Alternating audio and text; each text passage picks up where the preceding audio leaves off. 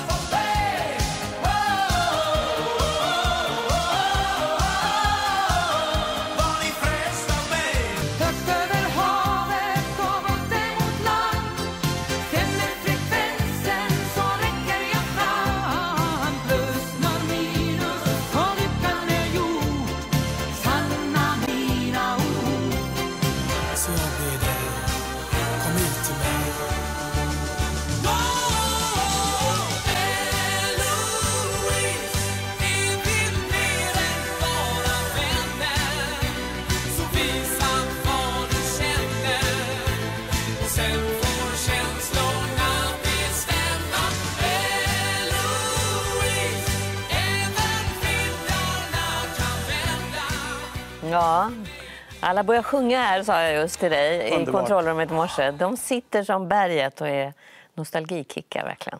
Ja, jag, tycker, jag är väldigt stolt över dem. Ja. Det, är, det är låtar som efter 30 år fungerar fortfarande faktiskt. Snurrar runt ja. och det är jag väldigt stolt över. Men du, alltså det är ofattbart att tänka på hur gammal du är. Jag måste nästan säga det, får jag göra det? ja, du är så gullig. Ja, du har fyllt 70, du är 70... Jag är 71, jag fyller 72 ja. i december. Och du ser ut precis som på de här bilderna. Du har inte åldrats överhuvudtaget. En rastlös person sa du. Ja, Så du håller igång mycket. Mm, jag är det. det är ju, man är nästan råd. Jag vet inte hur jag ska ta det när man säger så. Men jag är ju eh, ödmjukt tacksam mot mina gener. Det måste ju vara mina mm. gener som... Min far var ju också väldigt så säga, ungdomlig in i slutet. Mm. Och, uh, han småkutade upp för trapporna mm. när han var 80 86, 87. Så att det, Mm. Det finns någon gen där. Man lever ju på sina gener. Det som är roligt i den här eh, biografin, en hel massa Lasse, men en hel massa om andra människor också, ja. som du har jobbat med förstås. Och man får komma lite bakom kulisserna och det är mm. klart att det finns vissa personer mm. som alla är särskilt nyfikna på, mm. inte minst Carola. Mm. Främling mm. var ju faktiskt en, eh, vad ska man säga, det är väl en av tidsmarkörerna för dig. Det är en milstolpe för mig mm. och för Carola. Ja, absolut. Vi måste lyssna på några toner därifrån. Mm. Det är, året är alltså 83. 83 och hon mm. vann förstås, ung som hon var.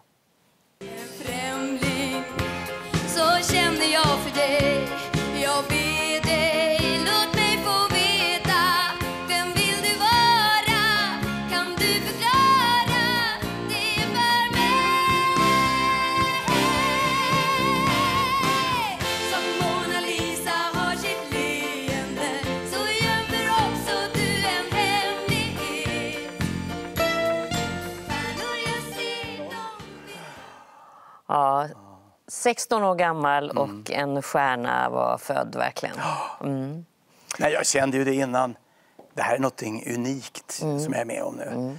Jag eh, kom ner till Malmö och jag menar, hon visste ju ingenting. Och mina branschkollegor, vem är det? Vem är det? Hon trodde GB Wigard på Svenska Dagbladet var, var Monica Forsberg och så vidare. Så hon blandade ihop allting. Men när jag hade jobbat med henne innan så såg jag ju potentialen. Det här är, det här är en det här är en unik tjej. Och sen har du jobbat med henne och mm. Eh, då har du också haft att göra med hennes pappa får man läsa i boken. Jajamensan. Som en väldigt stark person. Ja, han och Carola var egentligen identiska. Var de? Hur då identiska? Nej, men alltså, deras karaktärer var ju... Alltså Janne, Carola är ju... Hon är ju... Eh, hon kan vara helt galen ibland. Hon har ju en enorm humor och, mm. och är, slänger sig ut i mm. saker som bara liksom, va, vänta nu. Uh, och så var Janne med. Han, han var oförutsägbar. Men Janne och jag blev väldigt goda kompisar. Mm. Vi träffades regelbundet och spelade golf, för det var vårt stora intresse. Och då summerade vi vårt år och så pratade vi om... Och jag tyckte han var en en underbart fin person. Fast du skriver också att det var mycket konflikter. Det var väldigt mycket konflikt med Carola, skriver du boken. Det var ju, eh, den kreativa processen var jobbig och eh, hon är oerhört bestämd. Mm. och vet vad hon vill. Och, eh, Redan från start var det så. Ja, ja, ja oj, hon visste precis vad hon ville och jag vet vad jag kan och vill och jag är väldigt dominerande. Och du vet när två sådana motpoler möts, Mm. då slår det gnister. Vad, var det för, vad kunde de handla om, konflikterna? Det var oftast musikproduktionstekniskt. Mm. Alltså det var baskaggar hit och hur den skulle spela. Och det var, sen mina låtar, hon, hon var kanske inte så förtjust i mina låtar egentligen. Utan jag fick sälja in dem till henne. Hon kom från en helt annan värld. Mm. Hon kom från en fusionband som hette Stand By. Mm. Som spelade oerhört mycket liksom, fusion. Och från att komma in i det rummet som jag befann mig då, att vara kommersiell och tänka på melodier och eh, en, en eh, melodivinst så var det ju en väldigt så säga, annorlunda situation för henne. Och,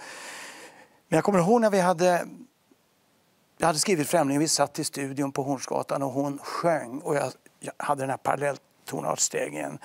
Då, då, då, då gick vi i taket bägge två för yes, här, ska vi, här kommer det att hända saker. Och, och det gjorde det ju.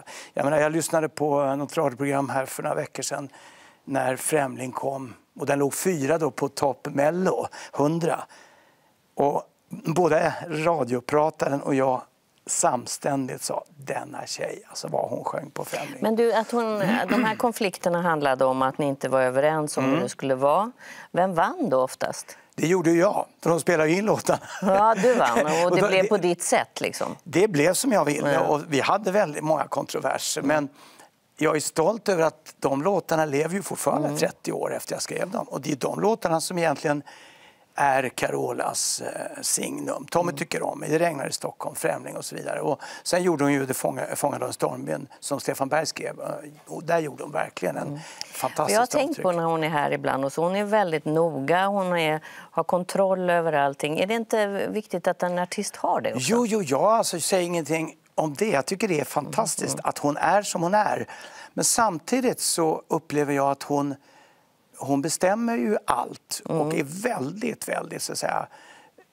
Det går helt tiden att lyfta det ytterligare ett snäpp och det är jag imponerad av henne. Men samtidigt så tycker jag att hon kanske behövt några kloka rutinerade låt, eller rådgivare som kunde fånga in en i ett nätverk där man jobbar fram en, så att säga, en, ett nätverk. Som, Kom det till en punkt när ni, där du kände att vi ska inte jobba ihop? ja, ja, absolut. Det gjorde det efter två år. Jag gjorde två plattor.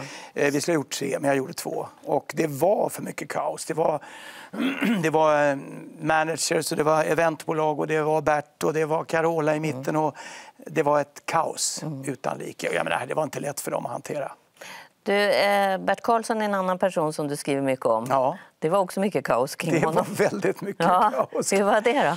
Ja, det var ju eh, turbulent. Alltså. Det var, han, jag skriver också i boken om att eh, jag har mycket att tacka Bert för eh, i hans blåslampeattityd. Att kom igen nu, kör nu, nu måste vi ha en ny hit. Och det blev någon sorts fabrik för mig att hela tiden gå på nästa hit. Men sen när vi eh, gick skilda vägar, då var det ganska jobbig turbulens.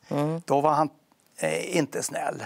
Vad Nej, han var ganska snäll? misskrediterande till allt det som vi var i behov av, Torgny Söderberg och jag. Mm. Nämligen att få ett startkapital och sådär. Och det skriver jag också om i boken. Mm, att han. Mm. han, eh, han eh, svartmålade oss väldigt hårt. Eh, och eh, sen gjorde han ju... Vad fick det för betydelse? Ja, det fick ju inga betydelser alls för de kontakter vi hade på vårt sätt. De trodde på oss och eh, vi hade visat ett... Eh, eh, vi hade Varför, varför svartmålar ni? Nej, men alltså Bert vill ju inte ha konkurrens. Vi, vi hade ju startat upp ett bolag som, som startade alltså med en total explosion. Vi hade låtar på listorna och jag skrev hockeylåtar och Filan Philipsson breakade och det var ju grym succé för vår start. Och då blev ju Bert, för han är ju en vinnare, Mm. han tål ju inte att förlora. Så då är han rabiat. Va? Och, och där så blev det en konfrontation, Mm. en konflikt som var under några år, absolut. Man har ingen känsla av att du är en person som eh, är sådär som du säger, med, att du har haft mycket konflikt eller så vidare. Men du hamnar i det för att Nej, du driver dina egna grejer. Jag driver mina egna, jag är bestämd av mig. Jag, jag säger vad jag tycker.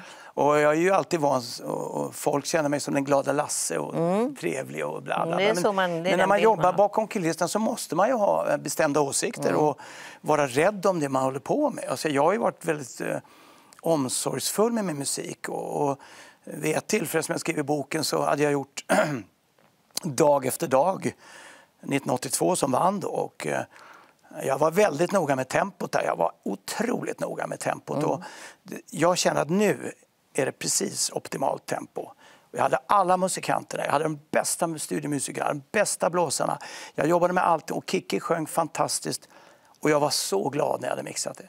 Var på Bert tycker att det går för långsamt. Så han ringer upp till graveringen och säger speeda upp den, det går för långsamt. Så det lät ju som Kalanka sjöng. Ja, men då, Vad gjorde du då? Hade han varit i mitt rum då hade jag nog tagit eh, knytnävarna för då var jag vansinnig och det vet han. Och det, har jag, det har jag talat ut om. Mm. Vad har du för relation till eh, honom idag? Ja, den är bra. Ja. Vi ringer och tjötar. Och Carola? Ja, ja, jättebra. Ja. Ja, be- Betänk, 32 år sedan, 31 år sedan jag jobbade med Carola. Det var då. Det var, hon var 16, jag var 39. Herregud, det är klart det var konflikt. Idag är vi ju superkompisar och haft underbara middagar och skrattat. Och när jag reste med Carola, jag reste ut i Japan, Belgien, Holland, Tyskland. Vi hade skitkul och hon var en glad, kul tjej. Alltså verkligen. Du, jag tänker också på en, eh, ett ganska svårt eh, kapitel i ditt liv, eh, är din pappa. Ja, Och det beskriver du, det är en smärtsam beskrivning. Din pappa han tyckte aldrig att du dög riktigt eh, i det du gjorde, som Nej. ändå var ditt, det du brann för så mycket.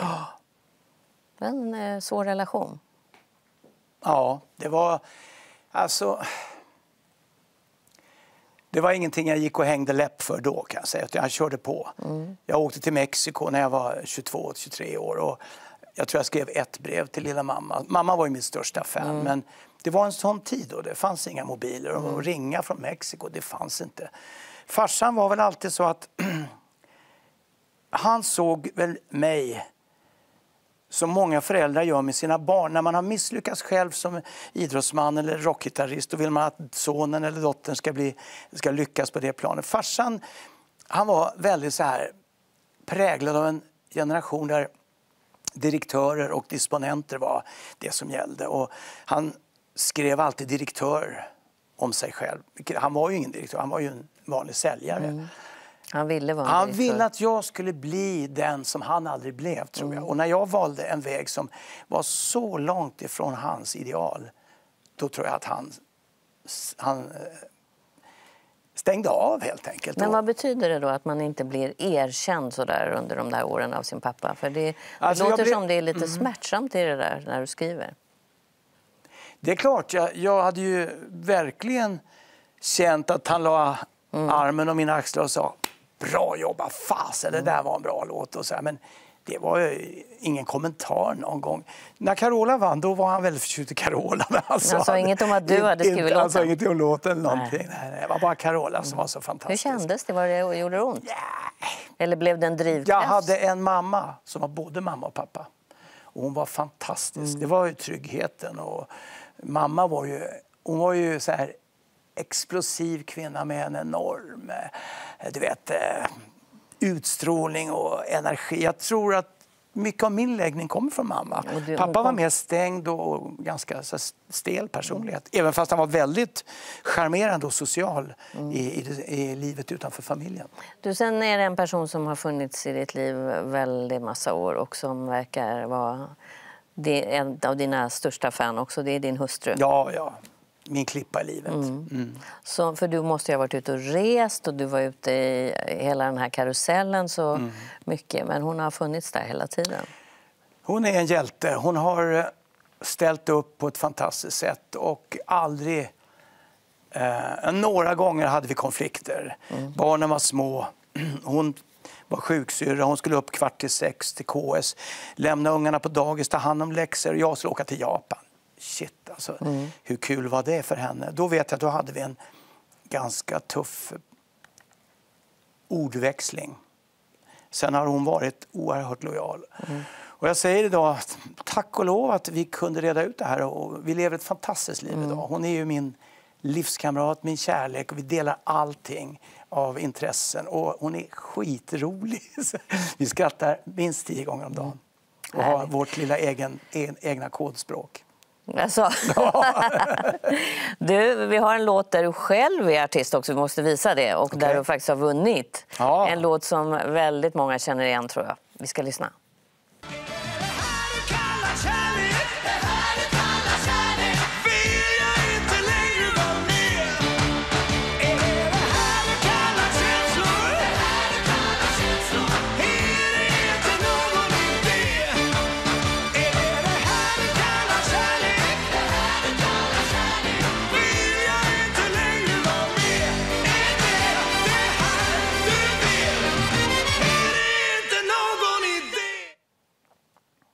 Ah, mycket lek såg du. Det är väldigt roligt. Det var lek. Då bestämde vi oss, det här ska vi bara kul. Men du, för att det har blivit en enorm, gigantisk tävling nu, Melodifestivalen. Eh, det finns inte riktigt utrymme för sånt där ser det ut som. Idag är det ju en tävling som är byggd på artisten Mm. och eh, produktionen och tekniken. Eh, låtarna kom ju in fem i tolv, Mm. som jag upplever det. Eh, och ibland tycker jag det hörs. Jag tycker att eh, om jag hade fått drömma då hade vi fått tillbaka melodierna som kommer att hålla mm. länge. Eh, det är mycket repetitiva hooks nu som byggs på och så är det datablippandet hela tiden och bakgrunderna är oerhört liksom boostade så att det pumpar. Va? Jag hade ju, nu är jag en gammal man med ett traditionellt tänk. Vi hade velat ha en härligt stort fet band med, med 16 stråkar och fem blås. Och ett sånt där orkesterdike som det var Ja, på den och sen tiden. ha ett par sköna programmerare Mm. som sitter och gör de här grymma, bra eh, tracksen som ligger i orkestern. Mm. Då får du upp en modern, men ändå en...